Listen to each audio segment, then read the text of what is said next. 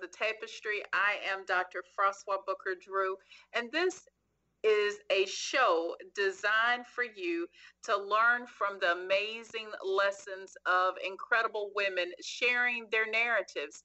Our stories have so much power in them, and as we listen to the stories of others, it empowers us to know that our stories too are important and that they matter.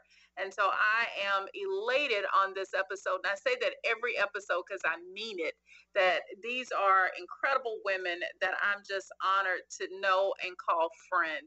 And so today you are going to be in for a treat as well with Dr. Emily Newsome. Emily just got her doctorate degree, and we're going to talk about that today because I'm so proud of my friend and what she's done.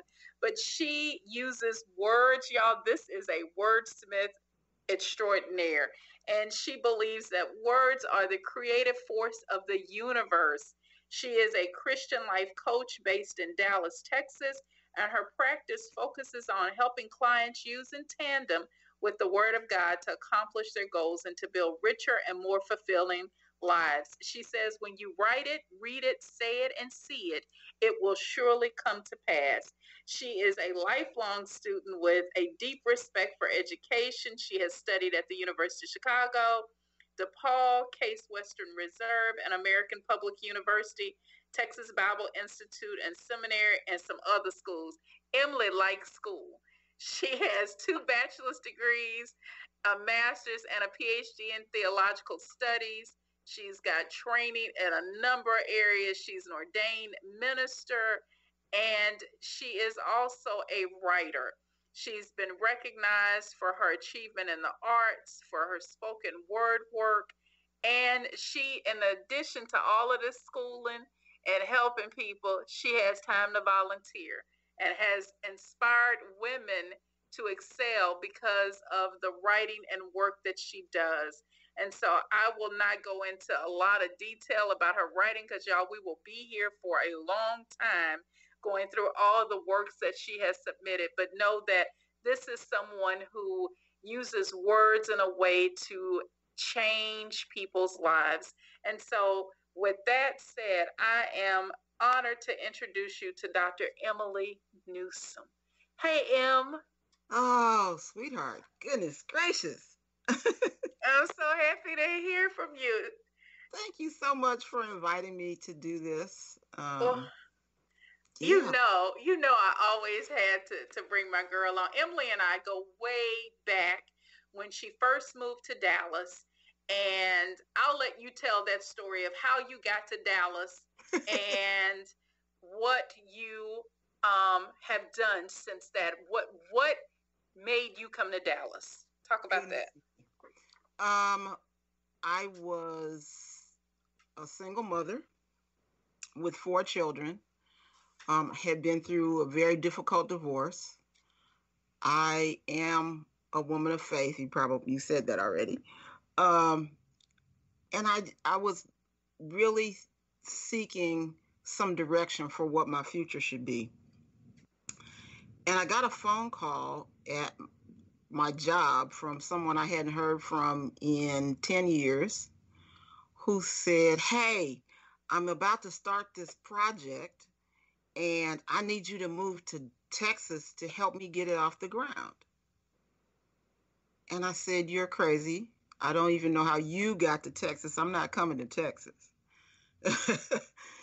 but as I continue to to pray, um, I felt led to to to move here, and so um, the move here with four children was a true act of faith. Um, there was no job when I got here. We stayed in a house that had been converted into a church that we put some mattresses on the floor and slept on the floor for a period of time. And within a week, I had a job interview and I got to meet you, Miss Dr. Booker Drew. and I have to talk about um, the amazing things that you have done for our family since we've been here.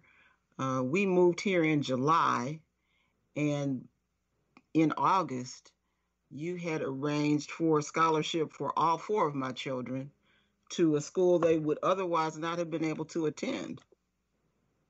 Um, and that's the kind of support that you have given to not just me, but to so many others over the years. And so I just want to take this opportunity to publicly say thank you for all that you do to encourage, especially women of color in this community and across the nation. I know. So thank you. you don't make me cry today.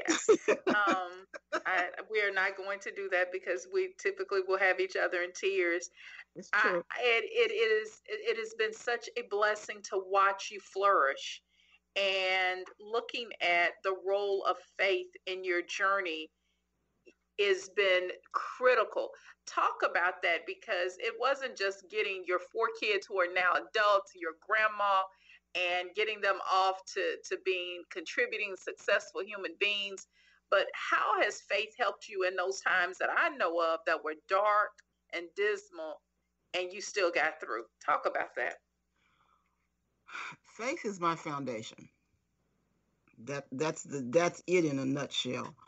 Um, I was literally na- raised by faith. My mother's name was Faith, and my mother had um, a series of events in her life that helped her to understand what that faith looks like in practice. My mother was paralyzed from the neck down when she was 17 years old the doctors told her mother that if she lived through it, she would never walk.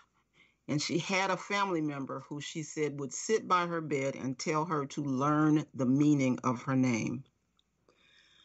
She did that. um, wow. And she imparted that faith to me in the way that she lived life. My mother never made more than $10,000 a year. And yet, um, I was at the opera every year. I was at the ballet every year. I was at the symphony every year. I took cello lessons from the second chair of the Cleveland Symphony Orchestra. Wow. Yes, that's faith. That is faith. um, and so faith is all I know. Faith is all I know. Because of her example, um, I knew that I always had a source when nobody else could see one. And that was a, supernatural force. Uh, I'm a devout Christian, not in the ways that uh, many people talk about Christianity, but that's a conversation for another day. Um, um, but I know that there is there is strength, there is resource available. I have learned what it means to operate in humility. I have come to understand some things about servant leadership.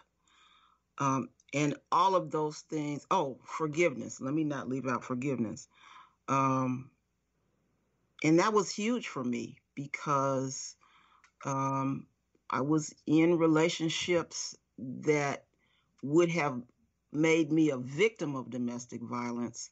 Instead, I'm now an overcomer not just a survivor, I'm an overcomer. And I know that it was faith that allowed me to move to that level. And that's what I try to share with others. You've written a, as a part of this work called Sanctioned Misogyny and focusing on how the church condones a culture of domestic violence and what we can do to change that. Talk a bit more about the involvement or lack of involvement of the church in this and what you have experienced and women you've worked with have experienced in that space? Goodness me. Um, I will start with my first ordination when I'm standing before the board, and the questions that I get are what happens if um, you are asked to preach at a church and the pastor won't let you in the pulpit? Wow. I'm just positive that the men who were being ordained didn't get that question. Um, but it still happens today. In 2020, mm-hmm. that still happens. Um, and my answer was that I understand I was called to preach. So if I have to do that in the restroom, at the bus stop, in the kitchen, where, wherever that is, then my goal is to allow the word of God to go forth with power. Uh, I don't think that was the answer they were expecting.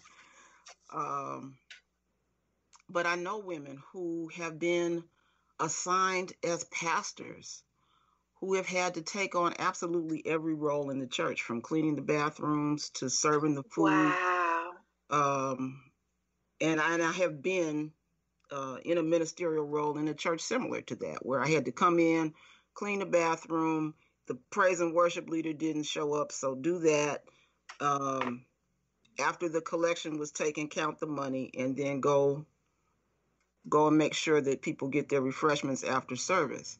Um, I had everything except the key to the church. wow. And it still happens. It still happens. And it's unfortunate because what that means is that the gifts and talents that are in half of the population and quite frankly more than half of the church yes. are being squandered if you will. We have such a rich tapestry of gifts and talents.